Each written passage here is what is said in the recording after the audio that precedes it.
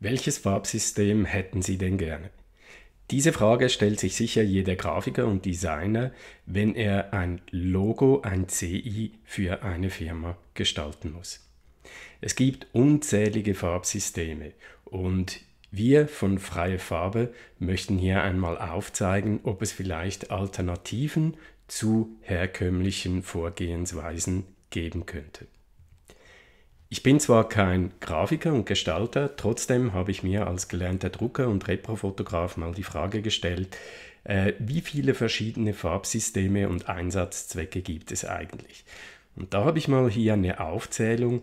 Es gibt Lackfarben im Bereich Autoindustrie und für Design, also Möbel und so weiter. Da kommen RAL, Caparol und so zum Zug. Wir haben Druckfarben Bekannte Farbsysteme sind hier Pantone und HKS.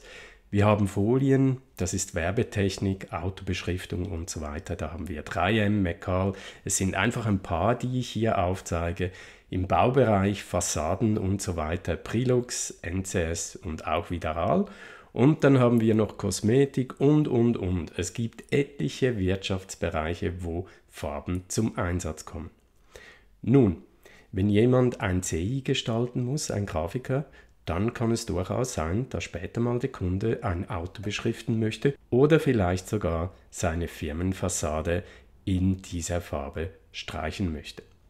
Wenn wir uns also zu Beginn auf solche Farbsysteme festlegen, dann haben wir das Problem, es gibt Nachteile wie unten aufgeführt. Farben können in diversen Ausgaben nicht erreicht werden. Das heißt eben, ich wähle zum Beispiel irgend in einem Farbsystem eine grelle Farbe und gehe danach in Digitaldruck oder Offsetdruck und diese Farbe ist einfach mit den gängigen Prozessen nicht zu erreichen. Heißt, diese Farbe ist nicht unbedingt crossmedial einzusetzen. Viele Farbsysteme sind auch in den gängigen Programmen, die zum Layouten und Gestalten eingesetzt werden, gar nicht von Anfang an zur Verfügung. Man kann diese eventuell kaufen, also digitale Farbbibliotheken und dann je nachdem, wenn es die Programme zulassen, diese hereinladen. Also Gestalter sind, wenn sie sich auf solche Systeme festlegen wollen, müssen ziemlich eingeschränkt in der Auswahl ihrer Farben. Das ist Praxis wie sie heute noch gängig ist. Farbsysteme in Computerprogrammen, eben, sie sind zum Teil gar nicht verfügbar. Wenn ich eine Folie möchte, MacCall oder 3M, dann muss ich die irgendwie beschaffen, um das überhaupt in einem Programm anwählen zu können.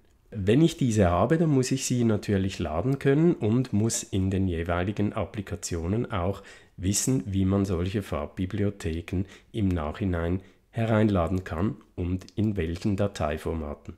Weiter, wenn ich ein ERP-System habe, was heute oft zum Einsatz kommt in digitalen Druckmaschinen, das heißt, ich gehe nicht mit einem PDF oder äh, mit einer Layout-Software da auf eine Druckmaschine, sondern ich habe vielleicht ein ERP-System und drucke direkt aus diesem auf solche Maschinen. Da kann ich Farbsysteme unmöglich anwenden in solchen Applikationen. Das gleiche in Office-Programmen und diversen Freeware-Applikationen. Die Vision von Freie Farbe wäre es zukünftig für Gestalter und Designer, dass diese frei am Computer eine Farbe auswählen können, und zwar mit mathematischen Werten wie LRB und RGB. Diese Werte kann man dann umrechnen in andere Systeme und ist so einfach freier in der Gestaltung. Von Freie Farbe haben wir in unserem Download-Bereich auf freiefarbe.de auch Bibliotheken von anderen Farbherstellern zur Verfügung gestellt, welche Sie in verschiedene Programme hineinladen können. Also zum Beispiel McCall oder 3M-Folien für Autobeschriftung und so weiter. Das finden Sie hier auf unserer Webseite und können das in den Applikationen, die es zulassen, hereinladen. Videos dazu habe ich in der Ausgabe 2018-01 bereits verfilmt.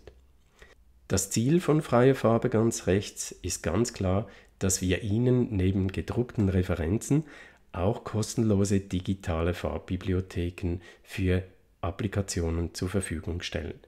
Zudem noch Spektraldaten. Weshalb das? Diese Spektraldaten erlauben es dann, aus den LAB- oder RGB-Daten, die Sie in Ihrem Design gewählt haben, bei einem Farbhersteller die Farbe als Mischfarbe, sprich Vollton oder Schmuckfarbe, zu rezeptieren. Das heißt, wir machen das Umgekehrte, wir gehen nicht zuerst von einer Schmuckfarbe aus und wählen dann andere Prozesse, sondern wir wählen eine Farbe und nur wenn wir es brauchen, werden wir am Schluss eine solche Sonderfarbe rezeptieren lassen. Genau das ist es, woran wir heute arbeiten. Wir haben ein Dienstback-Projekt, das nennt sich Open Color Communication. Darin enthalten ist im Download-Bereich von Freie Farbe frei zugänglich ein PDF-Layer mit diversen Gammuts, das heißt sRGB und unterschiedliche Druckfarben-Gammuts. Wir haben einen gedruckten Ringordner, der ist kostenpflichtig. Und wir haben kostenlos äh, Farbbibliotheken, die Sie in Adobe Software und auch in Affinity hereinladen können, sogenannte ASE-Dateien. Wir haben einen Spektraldatensatz. Und genau dieser Datensatz entspricht den Farben im Ringordner. Und so können Sie diese einem Farbhersteller zukommen lassen und er rezeptiert Ihnen eine Sonderfarbe daraus. Zudem noch eine Excel-Tabelle, eine Umwandlung aller HLC-Sollwerte aus dem Atlas können Sie da ablesen in sRGB und in CMYK ISO-Coded. Hier bildlich dargestellt der gedruckte Ordner, in dem Sie die Farben im LAB und HLC auslesen können. Dann haben wir hier die geladenen ASE-Farbbibliotheken, in diesem Beispiel in InDesign, also sämtliche Farbtöne des Ringbuchordners können hier hineingeladen werden. Die Spektraldaten schauen ein bisschen unspektakulär aus und das ist das, was ein Farbenhersteller braucht, um ihren speziellen Farbton in HLC oder LAB dann zu einer Sonderfarbe rezeptieren zu lassen. Was brauchen wir? Wir brauchen unbedingt Unterstützer, Förderer und Leute, die aktiv an dieser Vision mitarbeiten. Haben wir Ihr Interesse geweckt, dann bitte ich Sie unter freiefarbe.de sich die Mitgliedschaft anzufordern und es würde uns freuen, wenn Sie tagkräftig mit dabei sein würden. Wir sind der Ansicht, freie Farbe gehört ganz klar die Zukunft.